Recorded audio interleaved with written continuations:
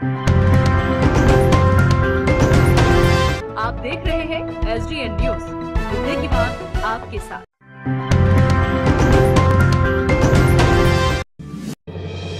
पूर्णिया के बाईसी में प्रशासन द्वारा वाहन जाँच और मास्क की जाँच करते ही बाईसी प्रखंड में हड़कंप मच गया। बाईसी थाना क्षेत्र अंतर्गत पूरब चौक हॉस्पिटल के पास एनएच निन्यानवे रोटा सड़क पर बाईसी डिप्टी कलेक्टर की अगुवाई में कोरोना जैसी महामारी से निपटने के लिए मास्क और वाहन चेकिंग का अभियान चलाया गया है, जिस पर बिना मास्क वाले टू व्हीलर चालक थ्री व्हीलर चालक सहित ऑटो सवारी को पचास रुपए का चालान काटा गया। बाईसी पुलिस द्वारा हेलमेट सहित बाकी पेपर के नहीं रहने पर भी चालान काटा गया है। गौरतलब है कि सरकार द्वारा मास्क पहनना अनिवार्य कर दिया गया है।